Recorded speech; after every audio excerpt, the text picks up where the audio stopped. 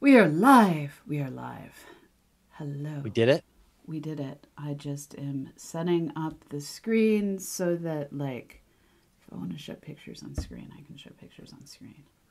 Oops. Seems like I changed your title. you did.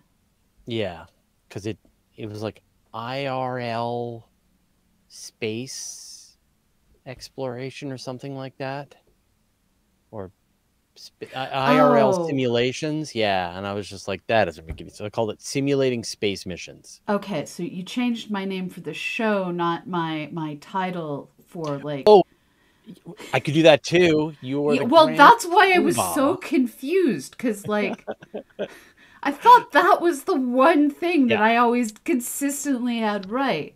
I feel like I say the word science too much when I'm reading out the intro, so I'm changing it to to the chief analyst, chief. Let me see. See, my name is Rosa Cain. I'm the publisher of Universe A. With me is Dr. Pamela Gay, a senior scientist for the Planetary Science Institute and the director of CosmoQuest. So I say science twice. There's a little too much alliteration there. Really I know, and I enjoy grammar. it. Hmm. What about senior astronomer for the Planetary But Science that's Institute? not actually my title, and that could get me yelled at. Please don't get me yelled at. Okay. All right. I'm just since since changing your title is on the table. Now I'm gonna now I'm gonna scheme. uh, so did you did you try to see the auroras at all? We have had so many clouds, and I didn't Yeah. have it in me to go driving to find a hole somewhere. Yeah, if you had like nice clear skies, then it's worth doing. But yeah, those Have you managed to see anything? I I heard your disappointment of Yeah. of the poking through the clouds, but Yeah, so we we so the so the first night I think it was like the two. I'm trying to think when it was. It was last week, Mhm. and we did our level best. Um, we could see like, and it was apparently it was a much more purpley color than the green. So there's a lot of greens, a lot of purples and reds, like a very different looking aurora than than normal. oh, um, that's cool. Yeah, and we could see we got we could get we took some photos of the horizon and we could get some of the purple and and red glowing around this giant cloud bank and we could see like a green glow coming through the haziness of the cloud. So if it was clear skies, I'm sure we would have been able to see it no problem. That is so much it- sadness. Yeah, yeah, and then we've just had storms and rain since then. So it's been yeah, it was not it was not great. But I mean, you just like it just shows you like like the storm so the sun is acting up. Now's the time. Yeah. So so be prepared. Get a Aurora app, alert app on your phone, on your email, Mhm. follow the websites, bring yourself up to speed, watch the sun, see what's happening with the various activity. And when you get these X class flares coming off the sun, a day later, this is your shot at, at seeing an aurora. Yeah, and even like, people were seeing them really far south. Um, oh, where were where were people seeing them? Definitely in Montana, definitely in Colorado, definitely. Um, so I would say like anywhere southern Oregon and north, and lots of places in Europe. So, and the sun is just getting more and more active, and you know we're Yeah. seeing possibilities that's going to be outrageously active this solar season. So So so this this has really got me thinking about like we're launching all of these LEO things. There's the NASA investment in small sats from universities and stuff. And I feel like every mission is playing solar roulette. yeah, they were And- worried that in fact there was there was some worry that this latest storm was going to cause some some interruptions in communication systems, things like that. But Yeah. looks like it was fine. But I, but like you know, I talk about this all the time, and I just like even if you don't live in in Iceland or um or Alaska, you can see auroras. Yeah, yeah. But you have to be prepared for disappointment. And so you have to understand, like you have to go get like I said, get an app, get the kind of technology that allows you to just understand where aurora sightings are possible. And then you've got to scout out some locations, a place that gives you a view to the north, to the horizon to the mm-hmm. north. So if you can get to a lake that gives you a nice view to the north, if you can get to a series of plains, you also want dark skies. So you want Yeah. as dark skies as you can get your hands on. Uh, and then you just want to be ready and wait. And then, like, many of the times you're not going to see them. You're going to go north, you're going to get to your dark skies, you're going to be looking on the horizon, and you're not going to see anything. You're and gonna and drive then- six hours You're going to no drive, yeah, reason. exactly. Yeah, exactly. You're going to drive this time and you're not going to see anything. But that one time when you see it, Yeah. and the sky lights up and you see these flickering dancing auroras it's life changing and and a, a fantastic use it's an adventure and yeah you could move to Flor- you could move to to iceland or fairbanks or northern canada and then you just look out the window in fact a lot of astrophotographers in those places are annoyed by the amount of auroras Yeah. that they get but Which is Um, hilarious. yeah, yeah. I still, you know, I know I've been raving about it for years now, but the ones that I saw about five years ago were life changing. They, I've, I can't describe the beauty and excitement of seeing those auroras. So, uh, everyone should be able to see a rocket launch. Everyone should be able to see an aurora. Yeah. Those, those you should be able to bank. We need the universe to throw comets at us, and we you know you've got some travel and some expense to go and see a, an eclipse Have But- Have you been to one of those hotels where they stick you essentially in a glass igloo so you can lie in No. bed watching auroras? no That that's on my bucket list. yeah it's pretty great. I was i was tempted to build one. I, I may i may see if i can get my hands on one and build one of them because it does sound pretty great. Like to sleep out at night Yeah. under the stars um is pretty great. Not be bitten by bugs. I mean, yeah. that's the down Yeah. I mean, we could do we do that here. We put a bed outside and then you just lay under the stars but you do get pretty bug bug bit by by morning So so I have I've spent stupid money on Kickstarter on really awesome um, tents that have the bug nets that you can actually see through fairly well. mm, that's cool Um, so still not binoculars, but because of the way they're designed, if you want to have like bug neck except for your head, you can do that. Yeah. Yep. Yeah. Yeah. Usually that's what you do. You just you just zip up so that you just your eyes are are looking out, and uh, it's not bad. The bugs aren't that bad here in Canada, where I live. The rest of Canadians are like, "Are you crazy? The bugs will lift, will suck your blood dry and carry your desiccated corpse off to feed their children." But on the West Coast, it's not so bad. So I, I feel like what we need to do is create an integrated system where there there are stretchy uh, eyepiece holes and gloves embedded Yeah. into the bug net so that you can hold your gloves and your binoculars and and the only way that the bugs can get in is when you pull the binoculars away from your eyeballs. Even then though, it they I Yeah.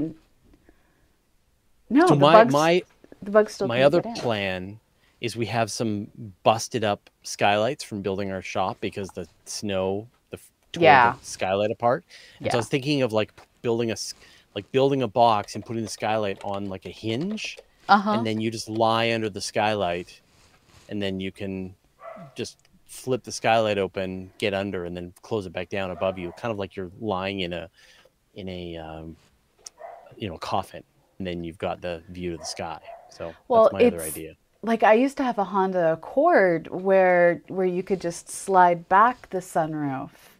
But you Mm. have domes, don't you? Those don't slide so well. No, they're they're flat. They're flat topped. Okay. Yeah, yeah. So I'm trying to think if I you know I can use because I've got these extra. You know, we're gonna have to throw them away. So if I'm gonna, although the, the the maker wants them for scientific purposes to understand exactly how it was possible that snow could tear the skylight apart because he'd never seen it before. Um. All right. Let's do right. show. It's episode 367? Three six thirty eight. Six. You got every number wrong. I hate having dyslexia. Wait. Yeah, it was. I mean, they're kind of mixed up and off by one, but that's. Well, the off by one is just because our website is apparently out of date. And you count from zero, like a good any good programmer should. Right, right. And now the water pump's going. Okay, we're going to pause the water pump. I hate the water pump. Oh yeah, I the water pump in our trailer is right. I don't know if people have ever heard it, but it is right underneath where my computer is. Like so, I'm I'm I've got my computer sitting on on a bed, and then water pump is the whole mechanism for the water pump, the water heater is all directly underneath, and it makes this rattling noise. Yeah, so our water pump is like eight feet that way, 10 feet that way. And, and it's the meter that makes most of the noise, honestly. Yeah. Is it still going? Someone's really, I bet someone's filling the teapot back up or the coffee pot back up. Or having a shower? No, I know that's not happening. There. Okay. Okay, awesome. I am pressing record. I am pressing record. All right. Um, we're ready to go. Here we go. Astronomy Cast, episode 638 Simulating Space Missions. Welcome to Astronomy Cast, our weekly facts based journey through the cosmos, where we help you understand not only what we know, but how we know what we know. I'm Fraser Cain, publisher of Universe Today. With me, as always, is Dr. Pamela Gay, a senior scientist for the Planetary Science Institute and the director of CosmoQuest. Hey, Pamela, how you doing? I am doing well. We we are at that point in spring where the magnolias are in full bloom, the apple tree is Oh. about to bloom, and that means we will have one more snowstorm. Yeah, we, we have we have a snowstorm right now. So, and like in April, this is madness. Um, so, so I was talking to one of my patrons today, and so an interesting thing people maybe don't know if you sign up as a patron for Universe Today, I do a uh, a, phone call with you or a, a Zoom meeting with you to just get information about how you became a patron, how you found out about Universe Today, and how we can make things better, and so on. And I was talking to another person who says that they use our stuff for falling asleep. And I just I just want to say that's okay.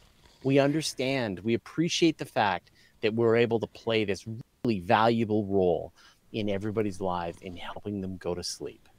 It's And- it's true. I do listen Yeah. to other people's podcasts. Me too. To go to sleep. To sleep. Yes. So so we understand. We do it too. It's totally fine. Don't feel guilty. Uh if we can bring that valuable role, if our if our soothing monotone voice can make you feel like you have to go to sleep, that's perfect. I, I just I, I think it's our soothing, not entirely monotone voices that are putting people to sleep. Yeah, it ties up the thinky part of the brain. Yeah. Although humans have never actually been to Mars, explorers have simulated many aspects of Mars missions here on Earth. There are missions under the ocean, on the tops of volcanoes, in the harsh Canadian North, and even in bed that simulate the limitations of spaceflight and teach us many of the lessons to prepare us for the real thing. And we'll talk about it in a second, but it's time for a break. And we're back. So, have you ever done one of these simulated Mars missions? No, they they require you to put the rest of your life on hold for for longer than I've ever felt that I could get away with given all the different things that I'm constantly doing. Basically, I I like to multitask. And if you're Yeah. doing one of these things, you have to be completely committed. And and the other part is that like the Mars ones they do in Hawaii, I have Yeah. a severe sulfa allergy that when um Mm, the one of- VOG. Yeah, VOG makes me think that I have pneumonia and it's just allergies. yeah. so. Well, and sulfurish, sulfuric clouds going into your lungs. All right. So let, let's put this idea. So I guess how what are some examples of simulations that are done to help us understand spaceflight? How does this work? They they're trying to test lots of different things, ranging from uh, how does the human body respond to not having a di- diurnal cycle with the sunrise and sunset? How does the human body respond to not being allowed to be vertical in a gravity well? how do human beings deal with being stuck in a small container they can't escape? And, yeah. and to test each of these different things, including technology tests of how do we handle it when, I mean, as kids, we all played the floor is lava. Well, they instead go out into northern Arizona and play the air is vacuum. And and with each of these different experiments, they're looking to understand the human psyche or the physiological response to these different, not normal environments. Yeah. Yeah. I mean, there's so many the communication delays, the checklist of procedures that you have to go through to go in and out of your spacecraft and so on. Yeah. And I mean, there's a very rich heritage of this. The Apollo astronauts simulated their missions yeah. in the deserts here on Earth as well.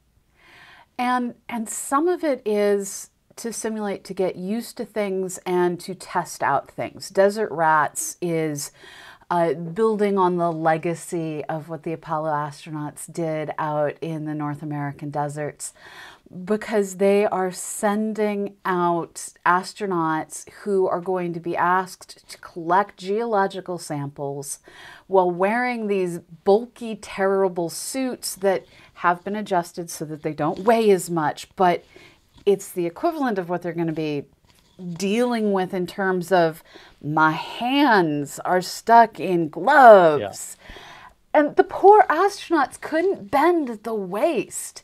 And just trying to figure out how to do anything when you know if you fall over, you're going to be a landed turtle. You have to practice that. You have to practice the okay, how does how does my spacewalk buddy get me back up when I fall on my back? Yeah. Um, and and all the awkwardness of outer space. We we think of the glory, the overview effect, the the amazing I get to eat that water bottle that is hanging out in the capsule, the water bubble in the capsule. We forget the that rock is really far away because I can't bend over problems of space yeah. flight.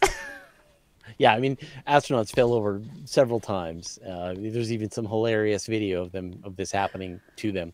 So let's talk about some of these these missions. Uh, pick you. You mentioned desert rats. Yes. So give us an example of, of so what is desert rats? So desert rats is a, a program that has taken various uh, concept models for lunar rovers and spacesuits and tested them out in northern Arizona. And what's cool is they've done things like we know that moon rock is is like finely ground up into regolith is like wearing glass in your clothing. So you, we want mm. to do absolutely everything possible to mitigate the potential of getting space dust into the human areas. And so they've been doing cool testing of things like rovers that drive along with these bodies mounted to the outside, except they're just the spacesuits. And the astronauts yeah. slide into the spacesuits, a door gets closed onto their back, and they're good to go. And yeah. and this is a super clever new design, but you have to figure out the logistics of can human beings handle getting in and out where you're essentially docking your back up at the end of the spacewalk. And and so they're testing different designs. They're testing different, uh, like I said, concept models for the lunar rovers. Uh, and this gives them a much cheaper place to test these prototypes and figure out the design elements that really matter if if we want to have more than a couple of weeks at a time up in space. And you can imagine like like when you think about something that you know how to do really well, like Yeah. I don't know, get into your car and drive it. And then if you really like sit down and think about all, all of the different parts that you have to do, you have to open the door, unlock the car, open the door, get in, sit down, adjust the seat, um, uh, maybe adjust the steering wheel, start the car, operate the car, and then imagine you're wearing a spacesuit this entire time while you're doing this. Yeah. You don't want to be on the moon or on Mars the first time that you've tried all this stuff out. You want to be incredibly comfortable, and the engineers want to have gone through every action, every motion that you're doing to try to minimize mistakes and Yeah. parts where you can accidentally press the wrong button at the wrong time. And so there's a lot of design issues. And it's through trial and error that you find this stuff ideally in a in a really safe environment. All right, we're going to talk about this some more in a second, but it's time for another break. All right, so you talked about desert rats, and and I think that's a the kind of simulation that a lot of people are very familiar with. But there are some really interesting simulations that say the Mars Society is doing, NASA is doing, where people take their simulation of Mars to the next level. And and the simulation of Mars from the next level, we have people going from roving around in northern Arizona to instead purchasing per wow, mispronounced that word, to instead perching on the tops of volcanoes on the big island of Hawaii.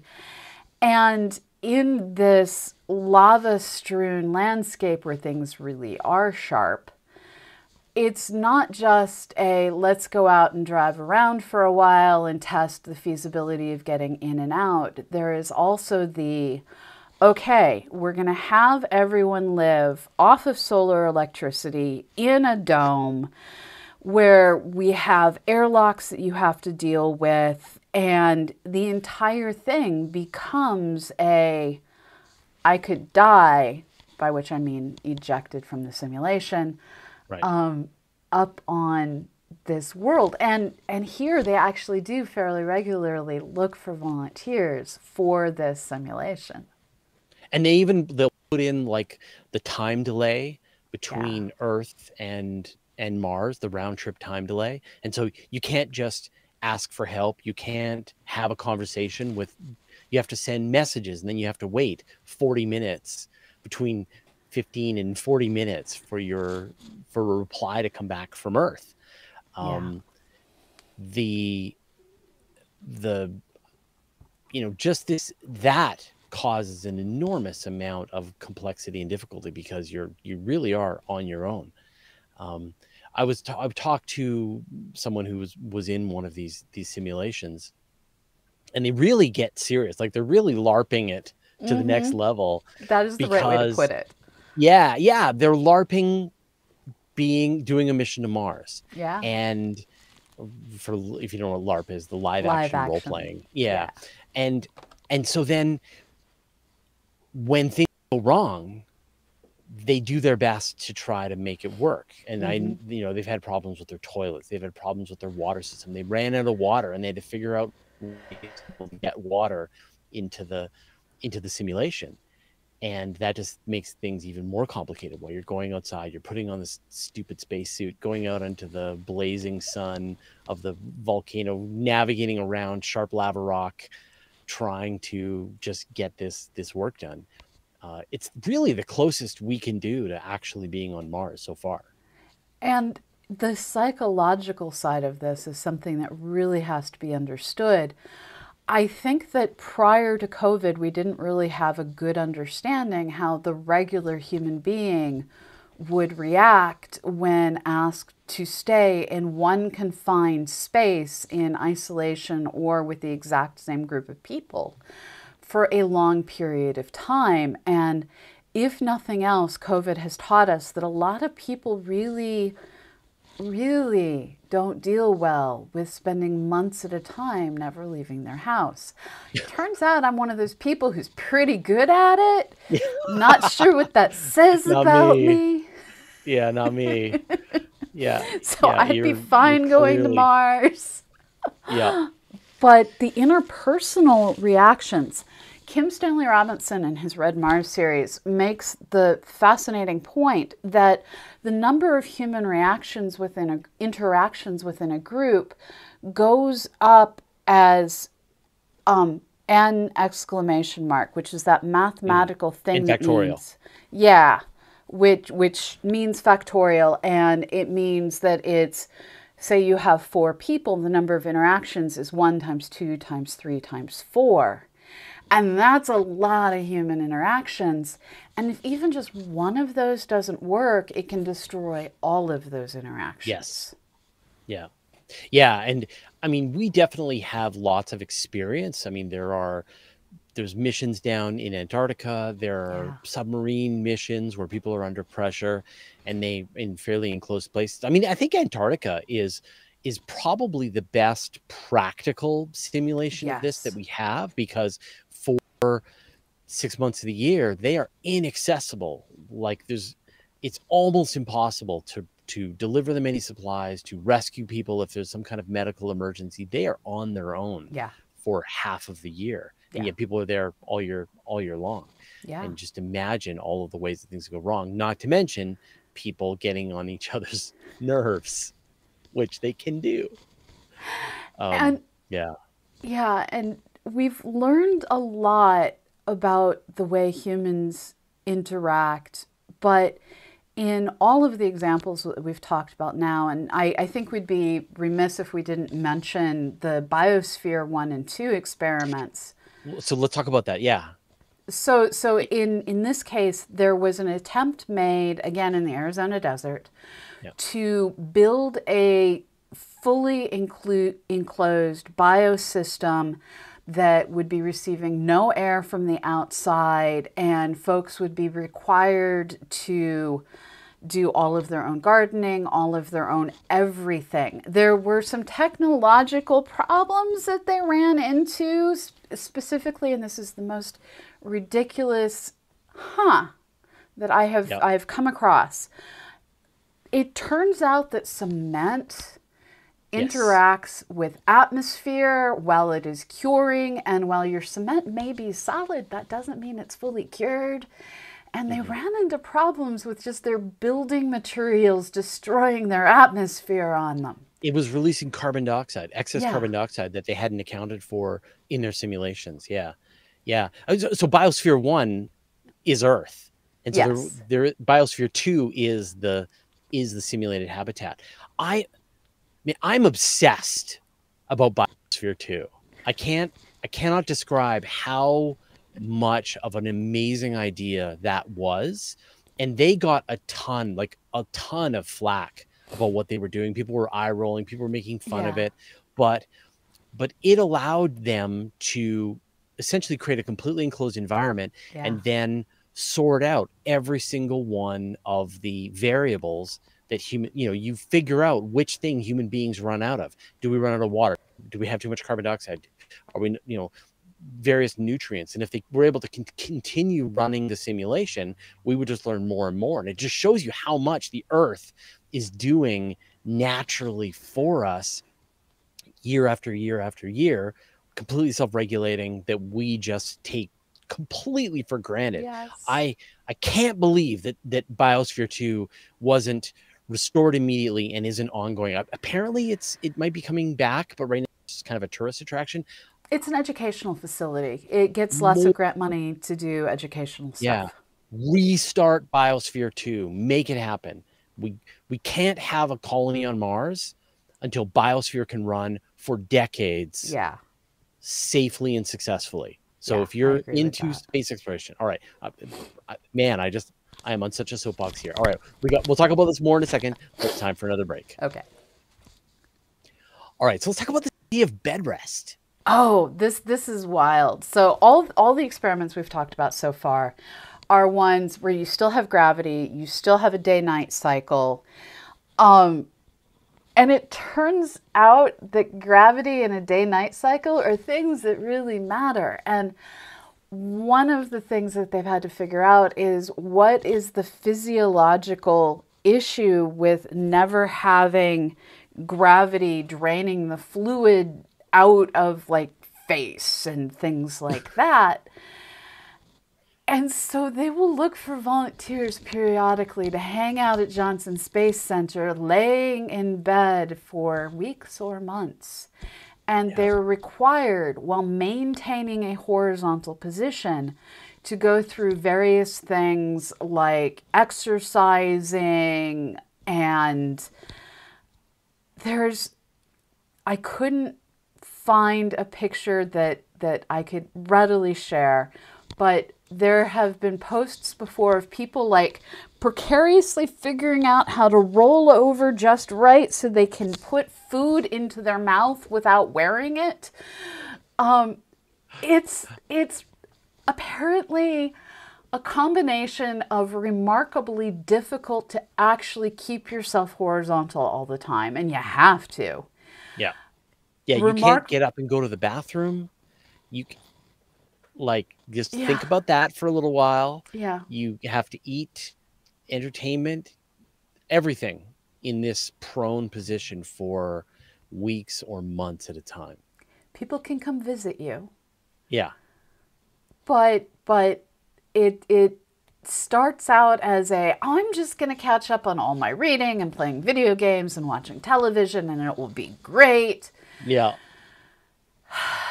And and then the, you know, exercising on this particular schedule while having to stay laying down while exercising is a bad thing.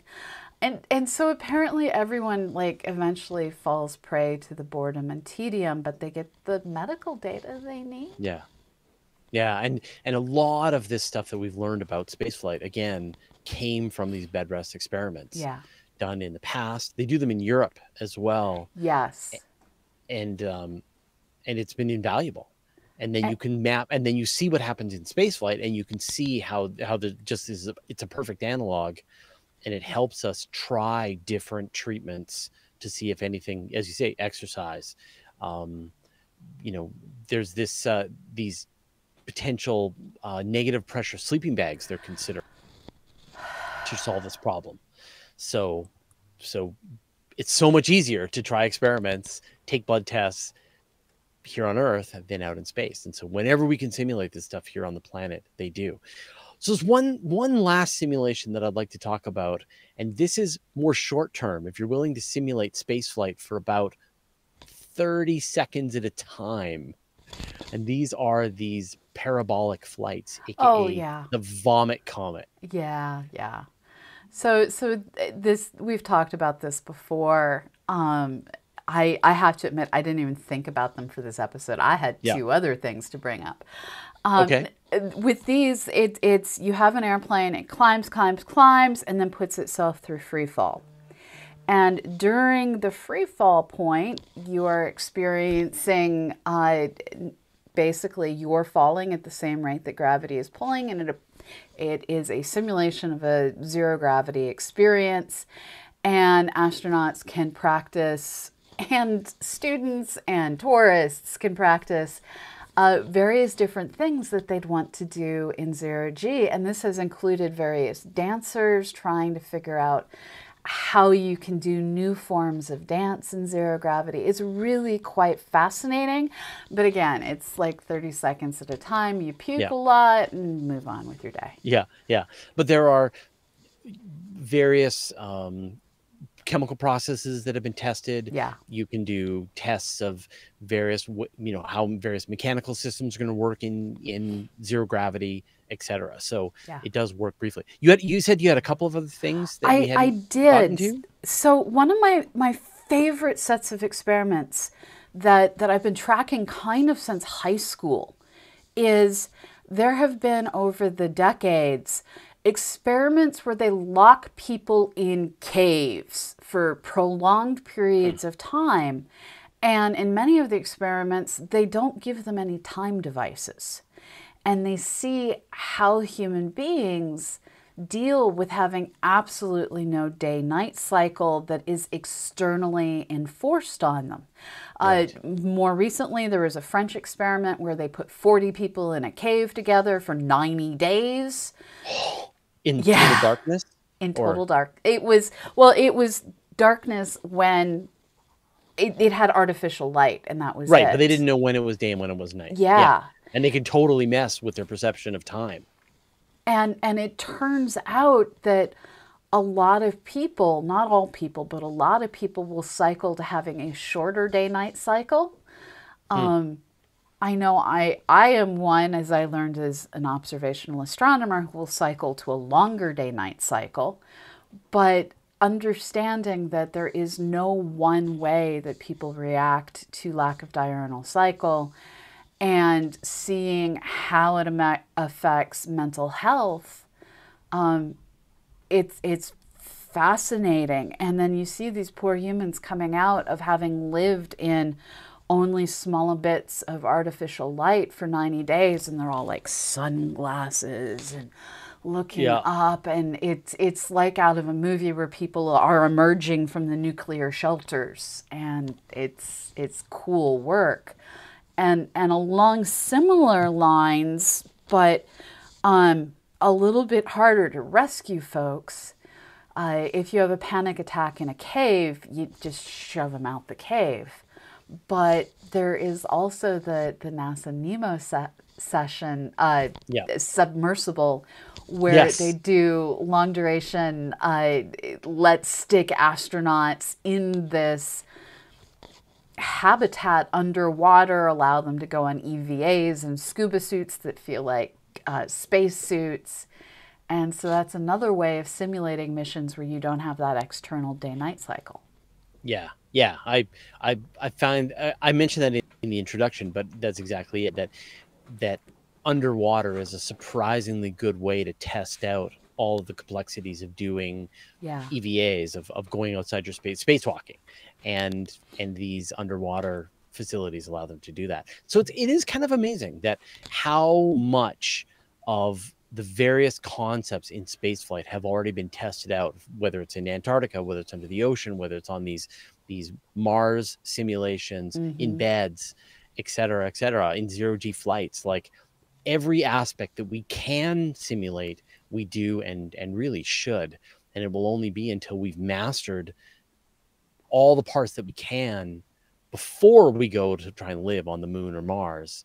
And then we'll find out all the stuff that missed our, you know, missed in our simulations. Absolutely fascinating stuff. Thank you, and Pamela. Thank you so much, Fraser. Yes, and thank you so much to all the people that support i'm sorry you're gonna have to edit this uh, rich i i do not have names i now have names okay it's the first recording of the month and think why won't you open please open we are delayed today because my mouse is just not happy and it does not want to open this file. Why, why won't you open the file? Come on. Let's read. Load the page. I have never, there we go. All right, let's try this again. So thank you, Fraser, and thank you so much to everyone out there who makes this show possible your your patronage over at patreon.com slash astronomycast allows us to pay all the people who organize the two of us nancy who has been there forever as our cat herder uh, rich and ali who do editing and all the other humans who i'm sure i am forgetting at this particular moment in time um, this week i would like to thank by name um, just a few of our Patreon followers. This week I am thanking Thomas Substrup, uh, Stephen Veit, Burry Gowen, Mountain Goat, Jordan Young, Kevin Lyle, Jeanette Wink, Andrew Poelstra, Brian Cagle, Venkatesh Chary, David Truog, The Giant Nothing, Aurora Lipper, David, Gerhard Schwarzer, Will Hamilton, J.F. Roulette, Rougette, uh, Kaka Sarif, William E. Krause, Laura Kettleson, Robert Plasma, Les Howard, Jack Mudge, Joe Holstein, Gordon Dewis, Holga Bjorkog, Frank Tippin, Richard Drum, Neuter Dude, Alexis, Adam Anise Brown, William Backer, Wanderer M101, Zero Chill, William Andrews, Gold, Andy Cowley, Jeff Collins, Kellyanne and David Parker, Jeremy Kerwin, uh, Rob Cuff, Harold Bardenhagen, Philip Walker, Marco Arasi, Alex Cohen, David Gates, Nikki Lynch, Matthew Hostman, Rando, and Brian P. Cox. Thank you all. Thank you so much. And if you would like to hear me attempt to pronounce your name at the end of Astronomy Cast, uh, go become part of our community and get even more information by joining at patreon.com slash astronomycast. Thank you, everyone. Thanks, Pamela, and we'll see you all next week. Bye-bye, everyone. Can you hear the rain here on my on my No, but I'm wearing audio? really bad headphones Mm, because okay, it okay. turns out my only wired headphones that fit with my extender are not that great. I I buy I buy uh earbuds like in bulk. So when there's like a good deal on say Amazon or something on like uh ear candies, I'll just buy like four of them because and then just stick them in the closet because I Yeah. just I tear them up. I go through them like crazy. So the issue I ran into is I'm using a Mac Pro, like one of those giant rectangles. And to physically plug into it, my headphones have to reach across my desk, under my desk, and into the hole under under the desk. Yeah. So I have an extender. Right.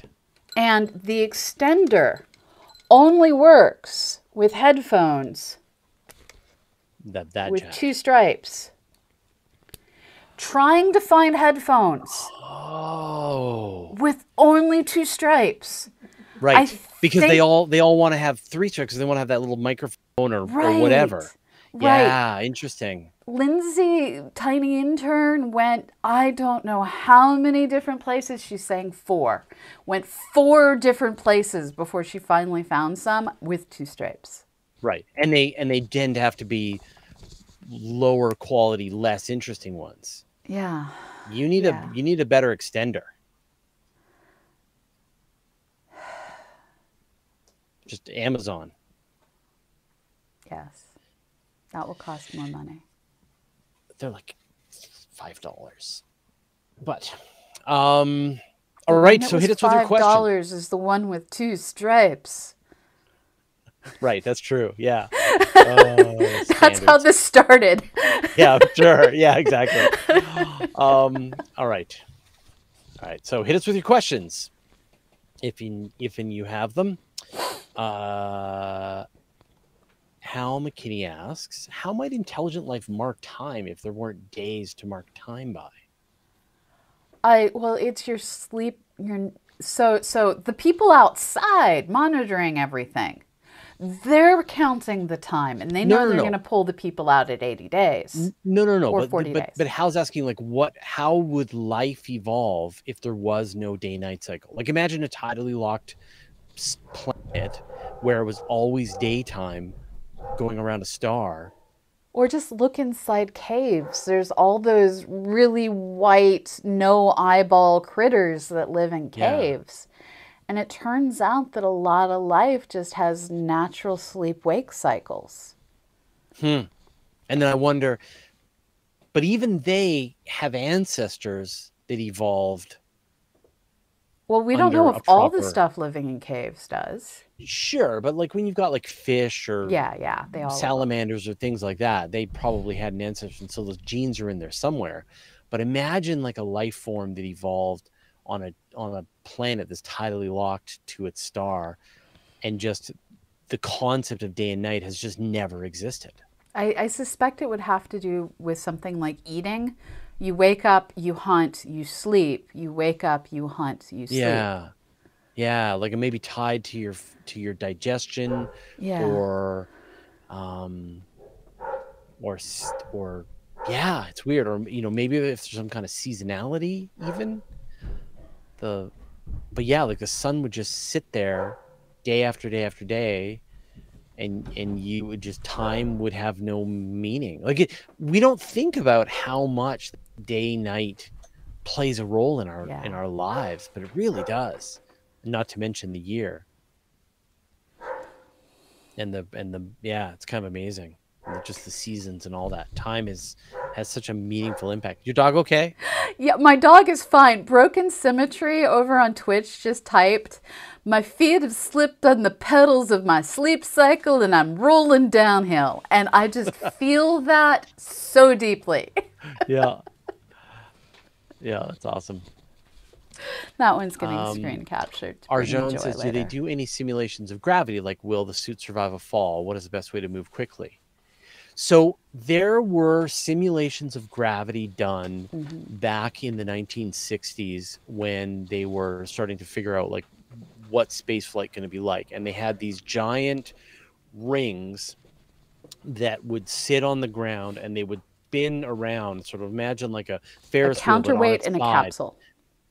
Right? No, no, no. They no. They, they have this giant Ferris wheel Oh, those, and yeah. then and then the and then the astronaut would stand on the Ferris wheel, and then they would be in a suit that would be hanging them sideways and would essentially make them weightless compared to the to the ground. And then they would spin up the they would spin up this wheel so they would be getting this this centripetal force that was pushing them against the the floor of this Ferris wheel. And so they kind of were able to simulate the lower gravity lunar gravity. And and then they tried to figure out how they would work with pieces of paper or moving things around.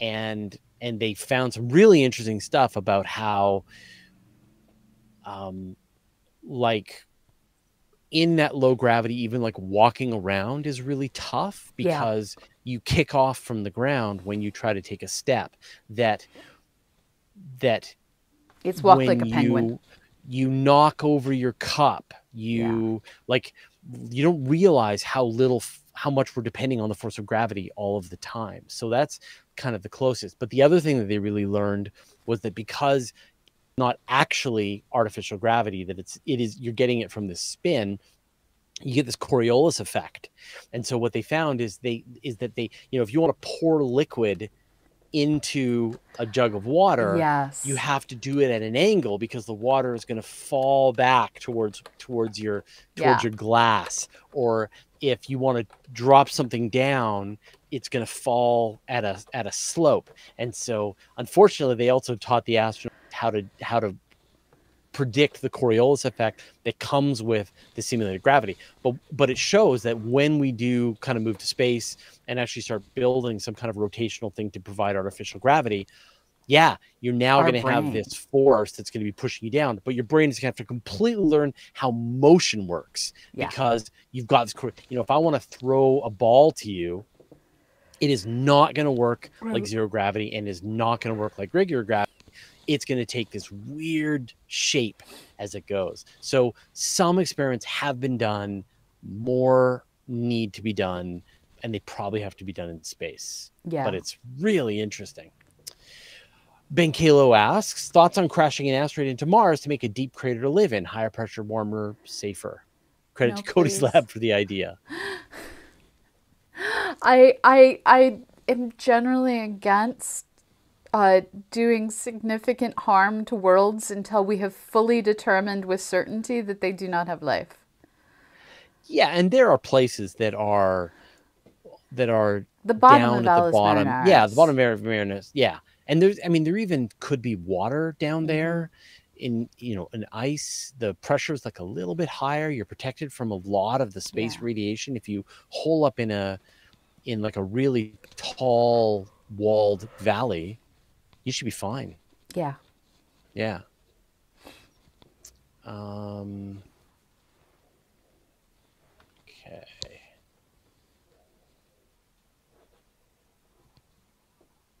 uh, this question might be beyond our pay grade. Hal McKinney asks, How do we know proton synthesis isn't simply when particle pairs produced in quantum foam do not always reannihilate? Yeah, above pay grade. Above our pay grade. Yep. You're an astronomer. I'm a journalist. Neither of us are particle physicists. Do does gravity affect shape of magnetic field lines? Um, This is another question from Hal McKinney. This is gonna be the Hal McKinney show. Come on, everybody. yeah, I have in, no or else- idea. Huh. Okay, And- so what about like with frame dragging? Yeah, that's why I don't know. Yeah. Does frame Because dragging space time is being warped, so that should warp the magnetic field, but I don't want to say yes since I don't know. Yeah. Uh, because it affects radiation. So frame dragging is the gravitational analog of the magnetic field produced by an electric current or a moving charge. Whoa. That just blew my mind. This is from uh, washington.edu. So that's kind of an interesting idea that that when you rotate an electric field, you generate a magnetic field. And frame dragging is the equivalent of you rotating. A gravity, Gravity. a gravity Yeah. field. Yeah. Yeah, it's really interesting. Um, so we don't know the answer. Apologies. It's okay to not know things. This is why we science. It's so we can learn more things. Yeah. I'm looking I'm seeing an answer on stock on Stack Exchange, but I don't understand it. um Huh, interesting. Okay. Arjun asks, would a spinning simulator in space that could do at once be useful? 100%. Yeah, yeah. Yeah. Mars gravity, moon gravity. Yeah. Yeah, I mean, I think like right now the plan is wing it. Like go to Mars and we're just gonna wing it. But but you are six months of away from rescue resupply in a world that we don't understand how to live engineering you're completely 100% dependent on every aspect of your technology just like biosphere 2 Yeah. the more we can simulate that experience the better. And so like that's why like it really feels to me like like elon musk's plans other people's plans like we're just going to go colonize we're going to build a city on mars we're going to go colonize that place let's go. I mean we're four years away from going to mars. That's how you get Jamestown. well at least it's it's how you get uh you get a disaster and a lot of people dying because of some really preventable thing that you could have learned about. Yeah. Yeah. Okay uh we've reached the end of our hour uh pamela what are you working on what are you doing Um, I am finishing up writing a book with a couple of my friends. It's just a kid's book, but it's all about the moon, and uh, hopefully, we will have a book to have in our hands by the end of summer to show all of you out there. And uh, beyond that, we have the Daily Space coming at you same time as Astronomy Cast over on twitch.tv slash CosmoQuest, uh, Tuesday through Friday. So come check it out. very cool uh I've got my live show happening later on today, and we've got uh, more activity going on in our Discord server. Finally, resurrecting my Discord server. So we're going to do one of these spaces. I forget what they're called, but it's like um, we can do those live conversations, and we do that on Discord this week. We've got a bunch of topics planned, one per week. So you should definitely come and check out the Discord server. Just do a search for Universe Today Discord. Sounds that should be awesome. Yeah, yeah. yeah. All right. Well, thank you, Pamela. Uh, thank you, everyone, for watching us both on YouTube and on Twitch. Thanks to all the moderators.